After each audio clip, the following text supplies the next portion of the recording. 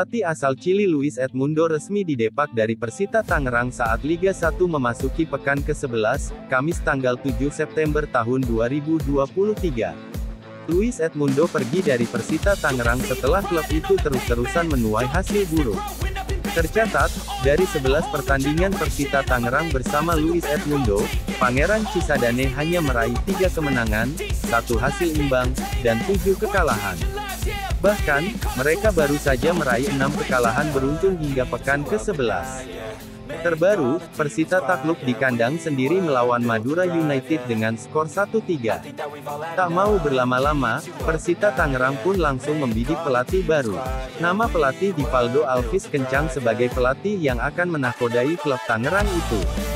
Seperti diunggah dari beberapa akun Instagram @gosipbola, Divaldo Alvis adalah satu-satunya nama yang santer masuk radar Persita Tangerang, Jumat tanggal 8 September tahun 2023.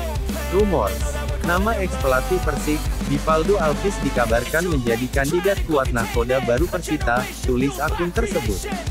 Sebelumnya, nama Divaldo Alvis juga kencang dirumorkan jadi pelatih Persebaya Surabaya. Namun, malah Persita Tangerang yang kencang mengejar Divaldo Alvis. Peluang Persita Tangerang untuk mendapatkan Divaldo Alvis tentunya sangat lebar. Pelatih asal Portugal itu sudah berpengalaman pada klub Liga 1. Ia pernah menjadi juru taktik Persik Kediri dan juga Persebaya Surabaya yang saat itu alami dualisme yakni Persebaya 1927. Divaldo Alvis juga pernah catatkan cerita singkat berkarir di Persebaya Surabaya yang saat itu tengah berpolemik di tahun 2011-2012. Terlebih saat ini, Divaldo Alvis masih menganggur selepas deadlock negosiasi kontrak baru bersama Persik Kediri. Menarik dinantikan apakah Divaldo Alvis akan diresmikan bersama Persita atau ada nama lain.